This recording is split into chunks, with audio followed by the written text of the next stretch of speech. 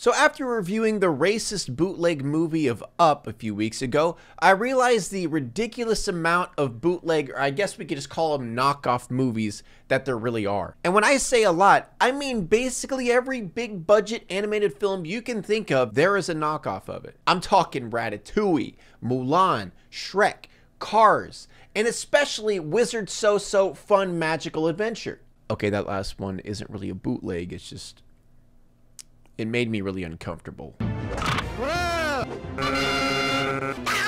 But I narrowed it down to two movies, and since I am a completely useless, indecisive piece of shit, I decided to let you guys decide on my Instagram. Make sure to follow me there. But you guys chose B. B, B, B, bzz, bzz. Now, the problem with picking the B movie is there is actually a lot of knockoff versions of the B movie, and one of the biggest ones that a lot of people have talked about is called Plan B. And I watched it, and yeah, it's pretty bad, but you know, everyone's talked about it. It's already kind of been a thing. It came and gone. Let's talk about something new. So I decided to talk about the bootleg B movie called Little B.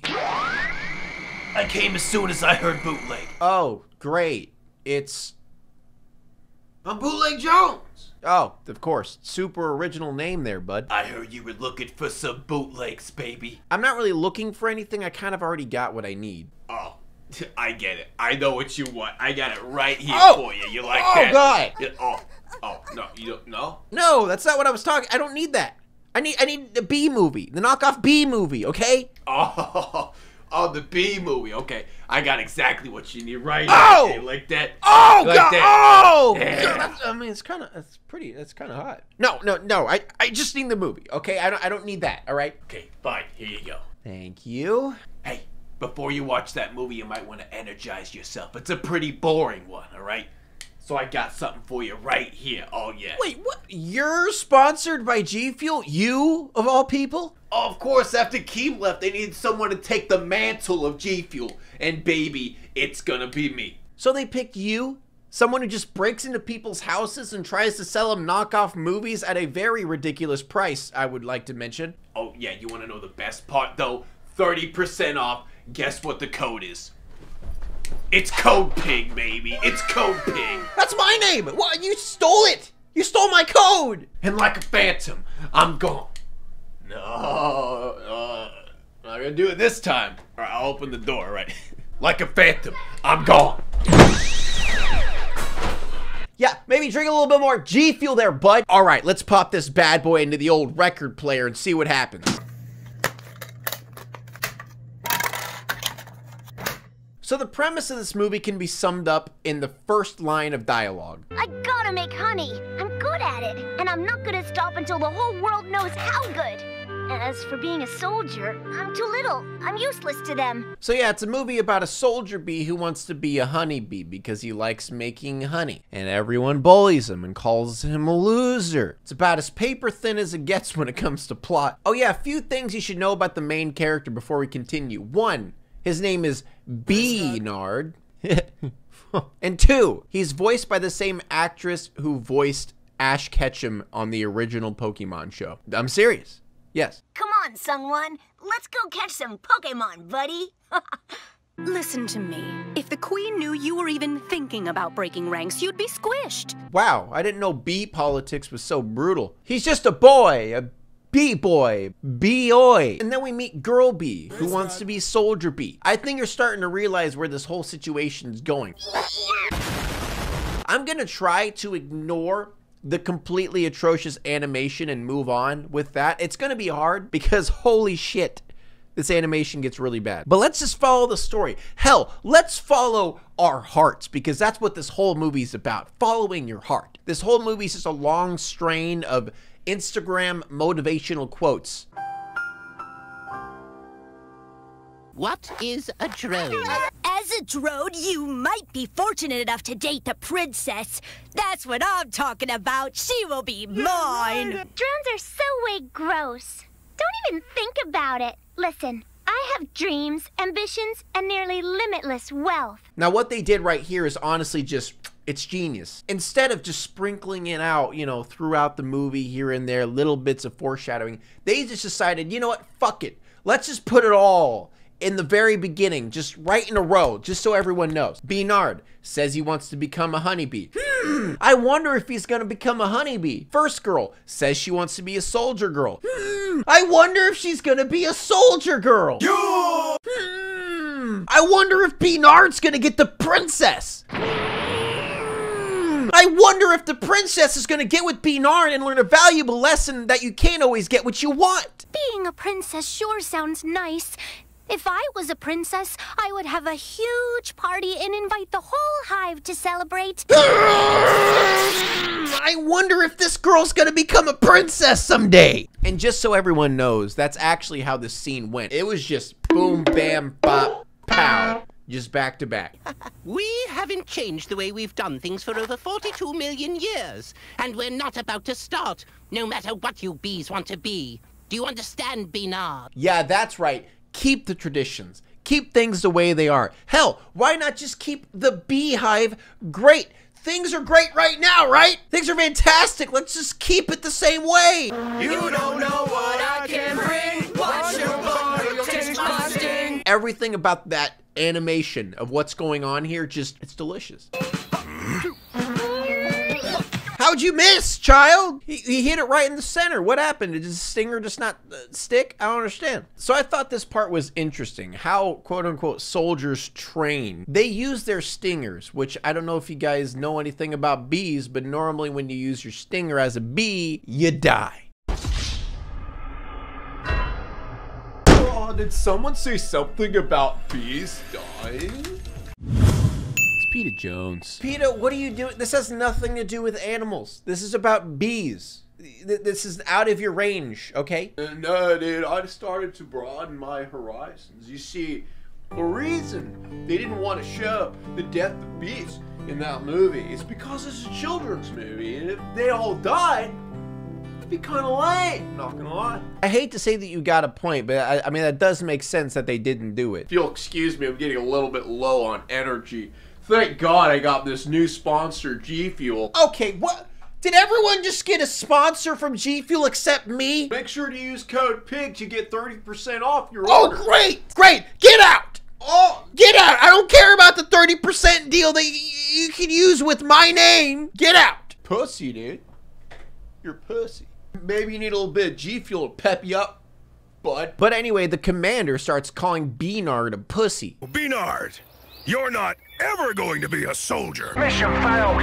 We'll get them next time. It's so amazing how barren and dry this is dialogue throughout this entire movie. It is just, I am not soldier material. I don't like being soldier. Well, you, you should be soldier because soldiers are, are you. You're born soldier. Soldier, you're a soldier boy. Sol- soldier boy, tell him. But I like cooking. No, cooking is for women. Are, are you a pussy? Yeah, but what if we thought outside of the honeycomb?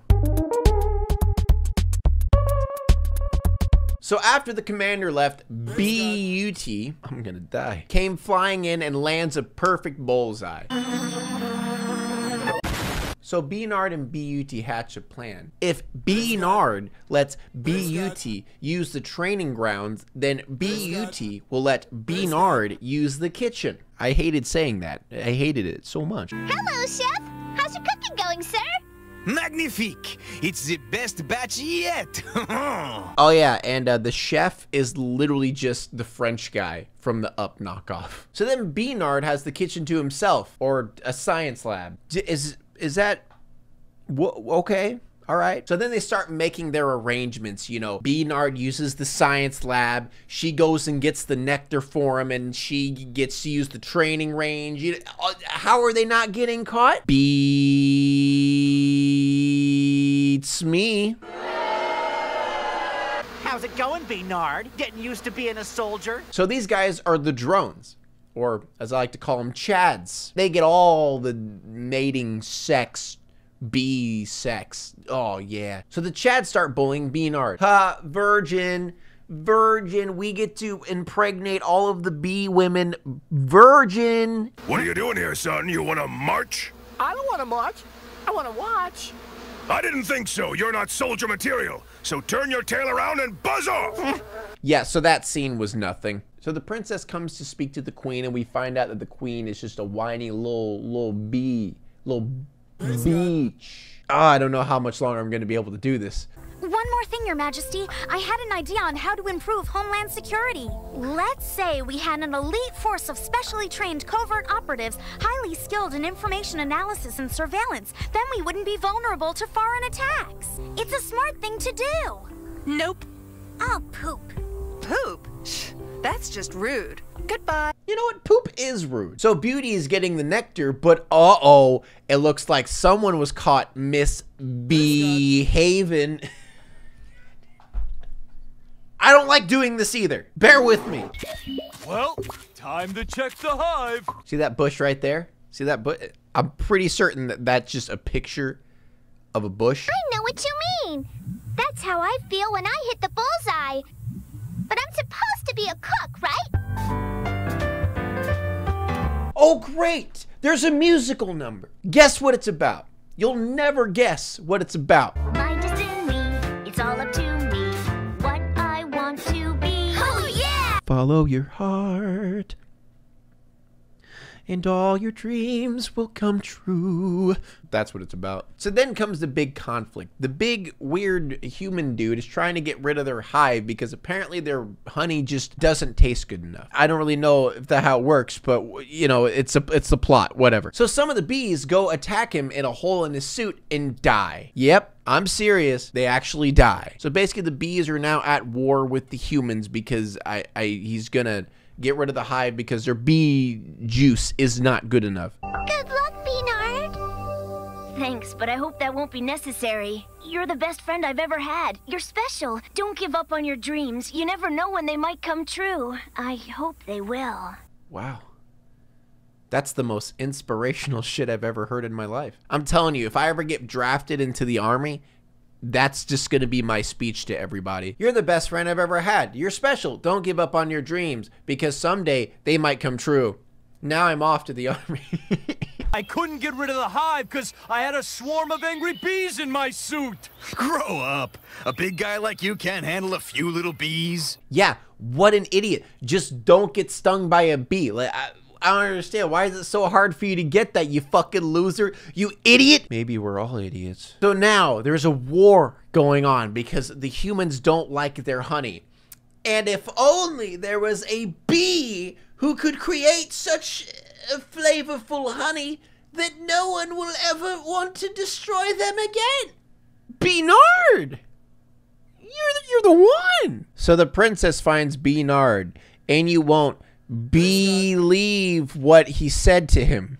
Dude, please, for the love of God, stop with the B puns, okay? Just stop. I, I can't stop. I don't know what's I don't know what's wrong with me. What am, what do I do? Tell me, what do I do to get through this? Beanard. Who is Beanard? Beanard, the bee in the movie. That's what I'm talking about. The bee in what movie? You're not even watching a movie. I, I am what? It's right there in front. I'm watching the movie. You don't even have a chair. What the? What the hell? Make sure to use code PIG for 30% off. So anyway, they get the nectar and then Beanard makes a nice batch of honey. But the bee boys are back with their bee suits and it's fresh and tight. No bee's gonna get them this time, so it's starting to get a little bit hot. Kinda hot in here. Yeah. But I sure feel safe. A huge battle commences, and a bunch of bees die.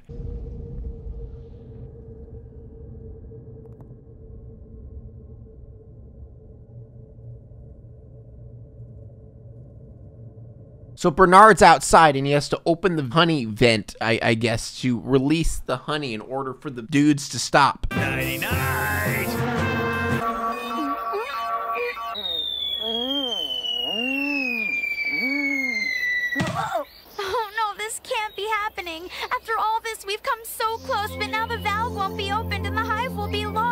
Wow, Beanard, now that you have passed out, our only chance at stopping the humans are now gone. You are sleeping. Now we have no chance. The hive will now die a horrendous death if you do not awake from your slumber. Not even lying, the only way I can get through this movie without suffering a hemorrhage is just playing it at two times speed. So Beanard somehow tanks bee gas. How? And for some reason, the two dudes who are about to destroy this honey thing sees honey coming out. And instead of just saying, yeah, screw it, let's get rid of the bees, they decide it's like, I'm going to stop everything that I am doing. I'm just going to give a little mm, Mmm. Mmm. There's a little taste.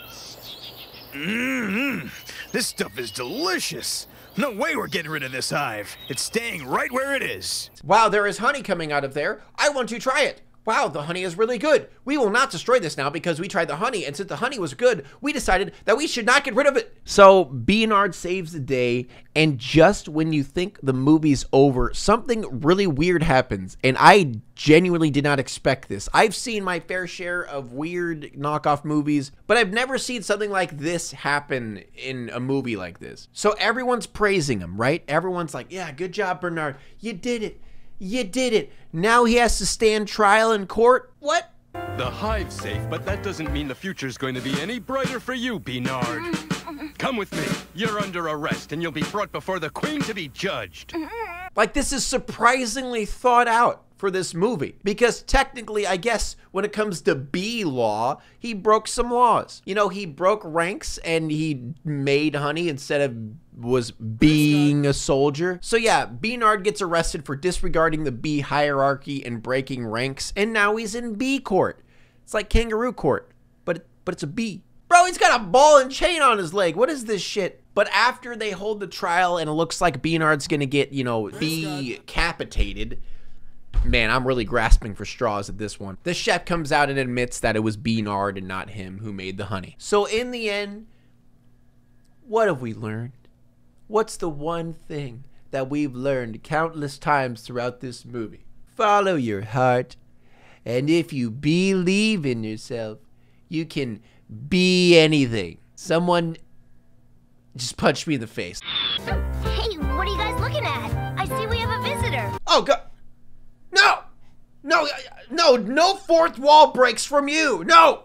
Stop! So this was a giant waste of my time. But to be honest, this movie isn't the worst bootleg knockoff movie I've seen. Honestly, technically for a kids movie, I, I guess it could pass for something. So I'm going to give this movie a 1 out of B. Believe me when I say this. That was my last pun. Now, be gone. Thank you everyone for watching this video.